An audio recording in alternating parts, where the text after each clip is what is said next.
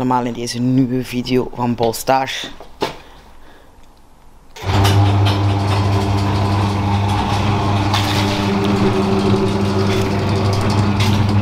Ik heb um,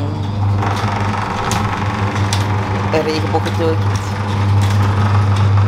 Twee zelfs. Ik zal hem even laten zien. Ik kijk altijd of er meer mensen zijn. Buiten, ik ben altijd zo. Kijk, hier staat hem dan, de regenboog. Heel mooi getekend. Het is nog droog, dus hier staat hem. Heel mooi eigenlijk. Ik vind het wel cool.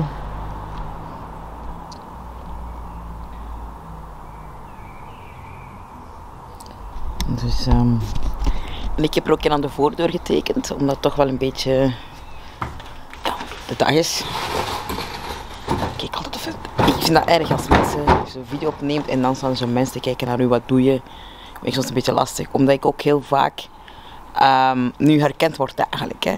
En dan heb je zo van, oké, okay, uh, wat gaan die mensen wel niet denken?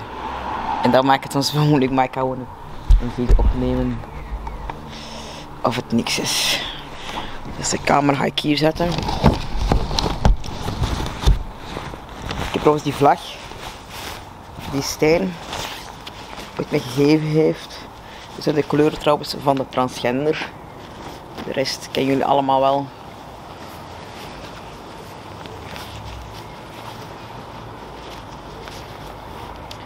Uh, ik kom wat er al wind is. Ik ben echt spannend. Ik ga dat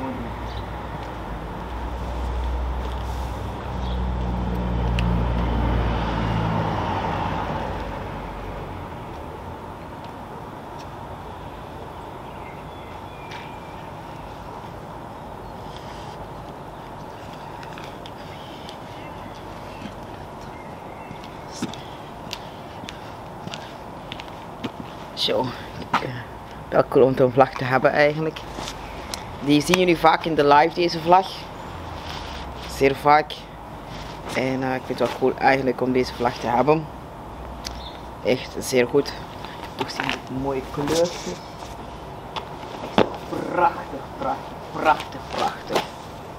Deze mooie vlag. Te mogen zien. Ik vind het echt knap. Um, zo. Hoe voelt het nu om een transgender te zijn? Eigenlijk wel goed. Daar durven over uit te komen. Zo. Dus dat ding terug. Ik vind het al uh, super leuk eigenlijk. Um, ook trots. Uh, zet het nu goed dicht? Ik hoop het wel. Um, om een transboy te zijn. Um, ik kan dus, en natuurlijk ja, binnenkort operatie. Uh, ik kijk echt naar uit, want dan wil het echt zeggen dat ik 100% mezelf kan zijn, 100% kan zijn wie ik wil zijn, omdat ze dan niet meer echt mij gaan zeggen wat ze nu wel doen. Nog heel vaak, en dat vind ik zo leuk, ook daar even laten zien. Uh, natuurlijk, als het er nog staat, kijk dan. Die heb ik hier uh, voor de deur. Hier had ik dat ook gedaan, maar dat was ik een beetje verkeerd. Dus je zit wel met die kleurtjes zo gedaan. Dus, uh, maar het voelt echt soms heel zwaar eigenlijk ook wel. Veel mensen begrijpen dat ook niet, omdat veel mensen zitten daar ook niet in. Um, maar als je op straat of in een winkel, uh, het maakt niet uit waar dan ook.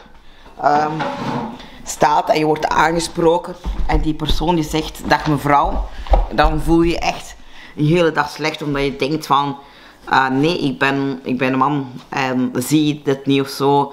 Uh, maar het probleem is nu ook, in, uh, dat jullie allemaal kan weten, we zitten in, bijvoorbeeld in corona. Dus als je dan maar zo'n mondkapje opzet, ja, dan valt dit natuurlijk op. En dat is natuurlijk niet zo heel leuk eigenlijk. Um, dus daarmee dat ik ook wel blij ben dat het zo rap mogelijk kan. Uh, het gaat wel een maand um, ja, niet zo heel veel kunnen doen. Uh, ook ja, uh, de helft van de zomervakantie niks kunnen doen. Maar ik heb ervoor over waarom. langer wachten als je die kans krijgt. Dus um, ik kijk er echt wel heel hard naar uit. Omdat ik ook wel merk dat het wel nodig is. En zo ook, ook op TikTok en zo um, zit ik heel hard. Weet je wel, ik ben er altijd op te vinden. Maar daar merk je ook wel dat er heel veel haat ontstaat. Heel veel haat. Heel veel mensen noemen nu echt um, van ja, je bent geboren als een meisje. Dus je bent een meisje. En dit en dat. En dat is ook heel lastig. Uh, lastig waar je altijd geconfronteerd wordt. En ik zou eigenlijk wel heel graag eens willen dat er zo, uh, ik weet niet wat op sommige scholen al is, echt les wordt voor gegeven. Wat is een transgender?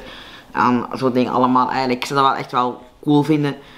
Um, omdat dan ook de meeste kinderen weten wat is dat om in het verkeerde lichaam te zitten.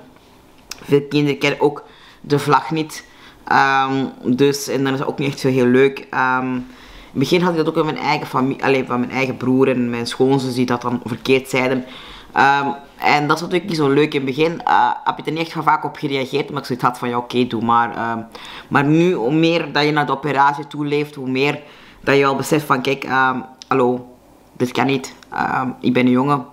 En uh, ik voel me ook echt helemaal jongen, dat weten jullie allemaal. Dus is soms ook wel moeilijk uh, hoe dat mensen gaan reageren. Je begint ook te twijfelen tijdelijk aan jezelf van...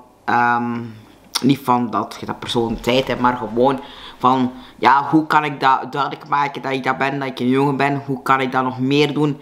Uh, ik hoop ook altijd weten van die wijde kleren eigenlijk, ik probeer ook zoveel mogelijk natuurlijk um, de baie te dragen, zodat dat natuurlijk niet opvalt.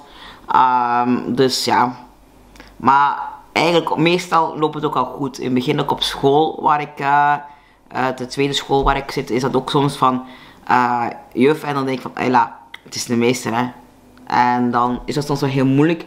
Uh, maar je doet je best eigenlijk. Je doet uh, je. Uh, en dan kan je echt, ik kan er dan verzekeren, als iemand zegt dat je meisje bent, dan loop je echt de dag ja, te na te denken. En echt, dat is niet echt heel leuk.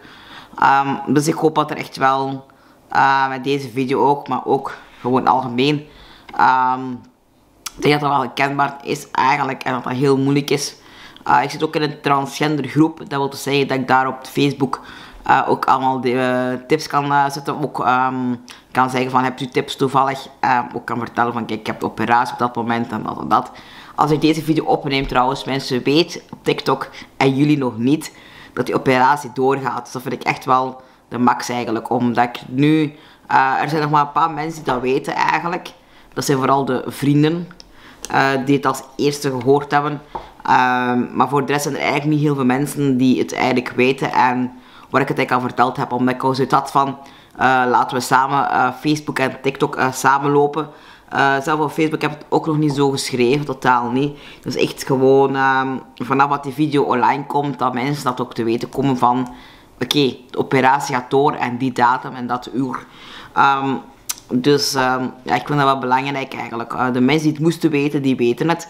Uh, en al die mensen weten nog niet. Dat is al de eerste keer, omdat ik ook zoiets had van de video moet ook wel knallen. Uh, want als je alles gaat vertellen wat in een video komt, dan kijken mensen ook gewoon niet aan daarmee. Maar ik zeg het nogmaals, moesten er nog vragen over zijn, over mijn transitie en zo. Je mag het gerust altijd stellen. Het is niet altijd heel gemakkelijk, um, maar ja, ik wil gewoon mezelf zijn. En hoe meer je jezelf kunt zijn, hoe beter. Hoe binnen, als ik in de zomer uh, in mijn zwemmer kan lopen. En zonder dat ik een, iets moet aan een bovenlijf. Ja, dat, dat gaat echt, dat gaat zijn, dat gaat van oh een knallen zijn. Dat zal iets voor volgend jaar zijn, want ik zeg het, uh, deze zomer zal het nog niet zijn. Um, maar volgende zomer, uh, ja, dan uh, knallen we erop en dan ga ik echt, kan ik echt zeggen van dat zou echt wel tof zijn. Ik, dat echt, droom daar soms heel hard over. Ik droom daar ook wel over. Ik, ik heb nu ook, uh, ik ga binnenkort op kamp. Uh, heb ik ook in de groep geschreven waarom ik surf dingen aandoe. Uh, want je moet het toch altijd een beetje uitleggen en zo aan de mensen. Want ja, mensen zijn ook helemaal niet thuis. En waarom dat je nog een t-shirt draagt, want je bent zo'n jongen. En je moet het dus altijd, in deze maatschappij moet je altijd ja, toch wel een beetje zeggen waarom doe je dit, waarom doe je dat in deze maatschappij. Dus dat is echt uh, ik weet dat de batterij plat is, dus um, ja. Maar ik vind het wel leuk om erover te vertellen en ik ben gewoon wie ik ben en ik zal ook altijd blijven wie ik ben. Uh, in het begin toen ik de tussenrond kreeg was ik uh, wel vaak depressief, maar nu, nu niet meer, omdat ik, mijn lichaam is er gewoon aan, mijn lichaam um, ja, is echt al zwaar veranderd. Als ik kijk naar mijn eerste stem van vorig jaar en nu, dan merk ik wel dat ik uh, zwaar veranderd ben. Ook, ik heb ook al een baard en een snorretje. Dus ik ben echt wel fier dat ik echt uitzie als een man. Ja, jammer dat die mondkapjes ervoor zitten, dat mensen het niet zien.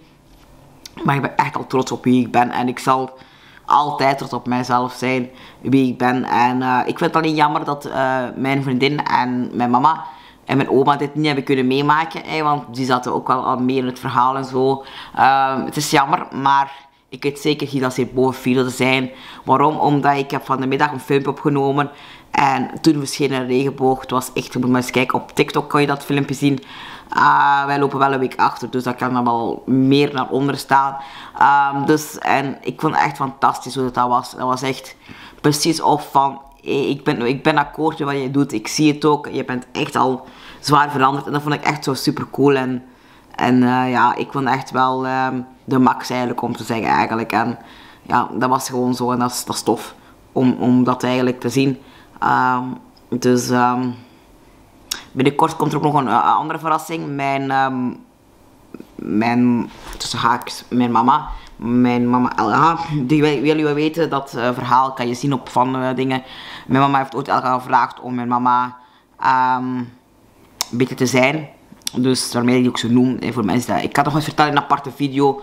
Um, en wij gaan iets doen. Uh, samen met mijn broer. Maar wat dat gaat zijn, gaan jullie binnenkort zien. Maar dan ga ik echt een aparte video vertellen waarom. Dit is echt over um, de transitie en over transgender en over mijn dag.